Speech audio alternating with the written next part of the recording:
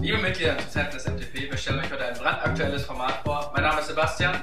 Ich bin Dejan, wir sind euer nationaler Vorstand und melden uns live aus der MTP in V-Wohnung. In diesem Format wollen wir euch Einblicke in unseren Alltag geben und somit unsere Arbeit für euch noch transparenter gestalten. Genau, das machen wir in den nächsten 60 Sekunden. Unsere Zeit läuft ab jetzt. Action! Wir waren in Hannover beim Convention Camp, haben dort die Busbefragungsergebnisse vorgestellt.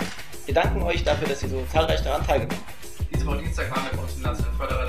Deutschen Bildung, haben dort ein intensives äh, Vorstandstraining von uns beiden gehabt, ging es vor allem Zeitmanagement, unseren Alltag intensiver zu gestalten. Weiter ging es dann mit den Kannrollen in Hamburg, in Berlin und in Frankfurt. Dort wurden die aktuellen äh, Preisträger aus vorgestellt. Ja, ich konnte leider nicht in Berlin sein, ähm, das tut mir leid. Nächstes Mal bin ich wieder dabei. Ähm, dieses Wochenende hatten wir ein IT-Wochenende hier in Frankfurt, wo es um die Zukunft des MTP-Netz und, und um unsere Homepages ging. Nächste Woche geht es dann auch gleich weiter, Und äh, Münster fährt nach Hamburg zum Inhouse-Workshop von Unilever.